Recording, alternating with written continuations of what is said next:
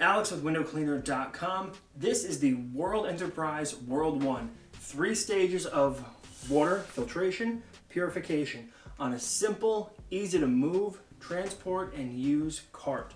So you'll see this cart stands just about 51 inches tall. Nice solid wheels, easy to maneuver. You can operate the cart standing up, transport it standing up, or laying down, just that simple.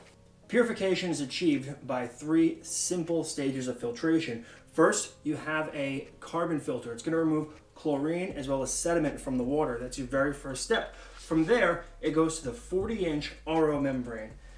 90 to 95% of the impurities are separated in the RO membrane and the almost pure water then travels to the DI cartridge. This is a refillable DI cartridge, inexpensive, easy to do on the fly or at your shop.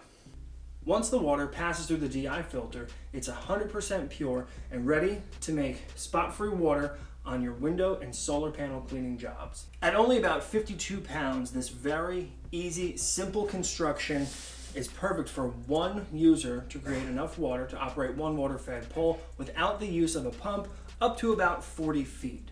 Its relatively compact size, portability, and non-proprietary filters make this water filtration system an absolute winner for your window cleaning business. If you're in the market for a three-stage water filtration system in your hard water areas to add to your window cleaning business, be sure to check out the World One. It's available at windowcleaner.com.